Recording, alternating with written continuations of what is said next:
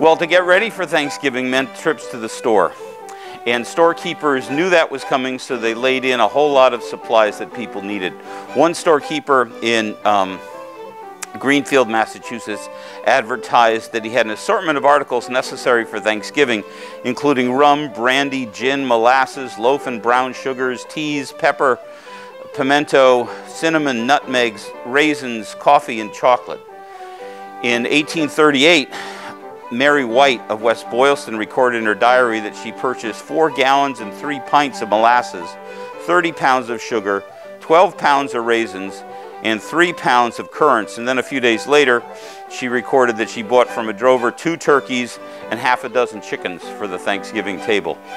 With family there and family hungry, there was a lot of cooking to do. Women would get together in the family and spend marathon sessions preparing and baking pies with all the ingredients fresh and ready that time of year. And of course, they made more pies than they could eat at Thanksgiving and indeed for weeks to come.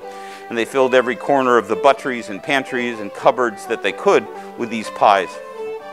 Harriet Beecher Stowe, in her book Old Town Folk, reminisced how they would even store some in a blanket chest in a cold northern bedchamber where the sun never shone.